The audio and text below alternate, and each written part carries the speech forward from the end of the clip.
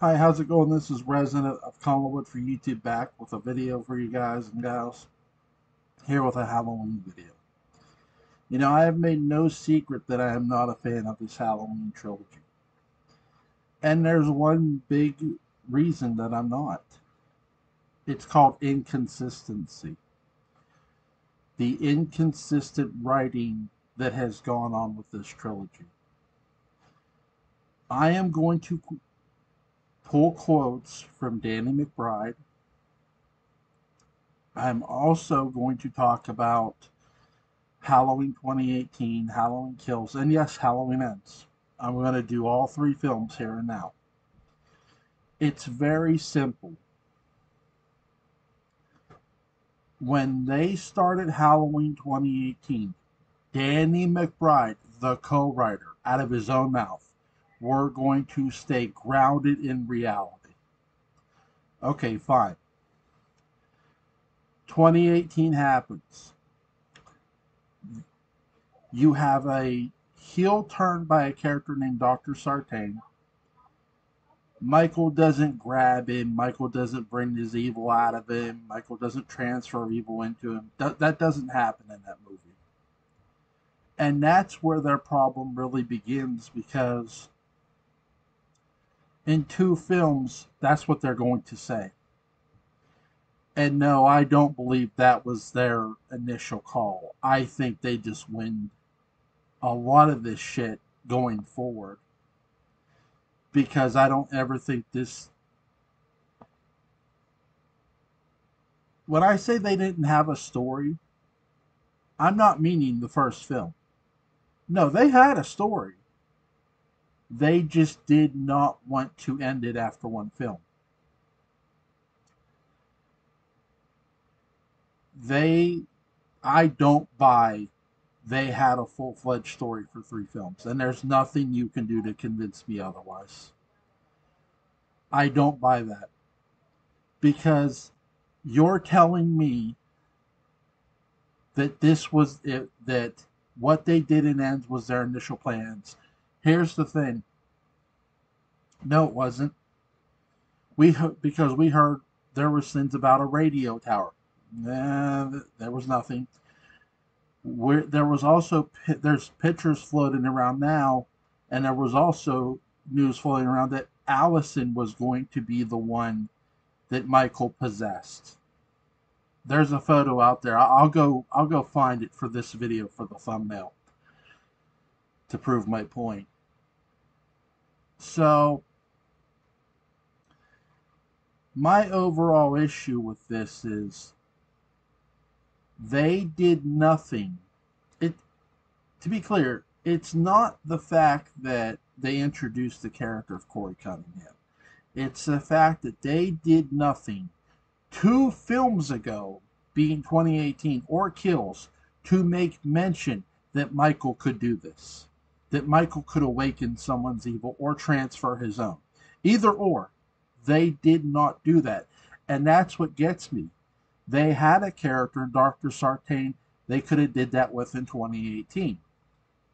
Now, if they did that, if they would have did that in 2018, do you have to then explain that in 2018? No. You don't. Not if you're going to have two more films you do have to at least make, and you don't really have to explain it in kills. Let me explain what I mean by that. Had they said, and that's the thing, that's all the writers have to do. If it if in 2018 Michael would have grabbed Dr. Sartain as Dr. Sartain was checking on him, got up and grabbed him by the throat, and all of a sudden Michael lets go and collapses. You have Hawkins is like, wait, what just happened? Dr. Sartain, are you alright? Then Sartain pulls out this little knife thing and then starts stabbing the shit out of Hawkins. And you have Allison who's in the car watching this. Then Sartain just collapses next to Michael his hand falls on Michael. the power goes back to Michael or whatever goes back to Michael the evil. Michael gets up, kills kills Dr. Sartain. There's Allison trapped in the car. She's got to find a way to get out the car. Let's say she does. Let's say they would have did just this. Do they have to explain anything in, in kills? Not explain necessarily. But when you're doing a three film set, the middle film, you need to least make mention. You need to make mention. I'm going to use another franchise I love Star Wars. The prequels, Attack of the Clones. What do we hear out of Count Dooku's mouth? There is a th- there's a Sith. There may be a you know again. You have to realize when you're doing a three film set, you need to at least make mention. And how could she have mentioned? How Allison could have mentioned all this? Again, does Allison herself have to understand what just happened? No. Because again, everything in 2018 happened so fast. How do you even begin to comprehend what you saw?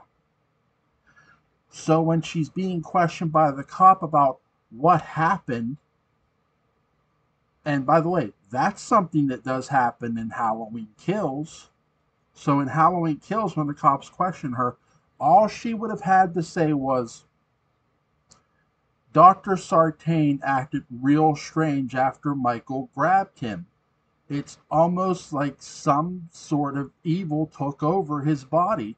Or just say dark or just say the first part and leave out the rest. It lets you know something more is going on. Did they do that in 2018 or Kills? No. And then there's these people online who say, well, you need to go back and watch the film again. You need to go back and watch the film. Yeah, you need to get your head out of your own ass, okay? I've only watched this film one time. And yes, you deserve that, by the way. I don't have my head so far up Jason Blum's ass. I don't have my lips attached to anyone's ass that made this goddamn trilogy. I'm sorry, you do. And yes, you deserve this as well. Because it's this simple. Had they done anything that I just mentioned, then Corey Cunningham's heel turn and what happened with Corey Cunningham, what would that have done? Oh, it would have made more sense. And no, it's not just Corey Cunningham. If they would have did it with Allison and chose not to do the same things they did, didn't do, guess what? I'd be complaining because you did absolutely dick in your first two films to say that was a possibility. Absolutely dick. I don't give a flying fuck what Dave McRae pulls out of his fucking ass because he's a liar. And you can take that straight to him. I don't give a fuck. I'm giving you straight facts. They did absolutely dick. Nothing. Show me where they did what I just said. They didn't. They did nothing. And if anybody wants to pull a lie out of their ass and say they did, shame on you. Shame on you. I'm done playing pretend.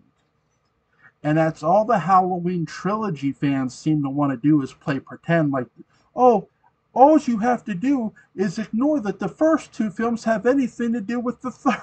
Are you fucking high? Are you? The three films are connected. Laurie Strode, Allison, Hawkins are from the first two films. And even if they would have killed Hawkins, that still leaves Laurie Strode and her granddaughter. Oh. And the, the woman from part one. Which was in when she was in Halloween Kills. It's ridiculous. It really is ridiculous. And the fact that you can't even admit that this film is bad is sad. It is bad. It's awful. It's dog shit. I don't buy it. I won't own it. And I won't own it for one simple reason inconsistent writing.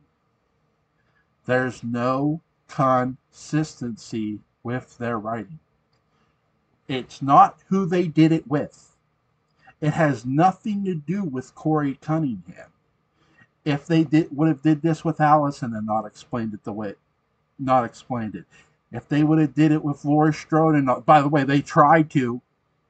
They tried this same at the end of ends. Michael was trying to transfer his shit to Laurie Strode until Laurie killed until Allison came in. It would have still made no sense. And then they try to sell you out of Corey Cunningham's own mouth. Oh, if you would have just accepted what he was trying to give you that night and what he's talking about is in 1978. Yeah, Corey, nice try, bro, but you're full of shit too. people who have common sense aren't going to swallow bullshit. Especially when the storytellers of the three films I just talked about did nothing, did absolutely dick to make mention of it, to talk about it, until the third film you have to connect dots to your movie. To your movie. Not just 1978. You have to connect dots to your film. You know, 2018 and Kills, those movies do exist. They are out there. If you're going to say that Michael can awaken someone's evil or transfer his own, whatever the hell you were trying to say, you have to display that in 2018 and at least make mention of it in kills. They don't do either. Fact. Bottom line. You can take that and shove it down your throat or up your ass, however you like. Because I'm done being nice. You folks have a nice day. Bye bye now.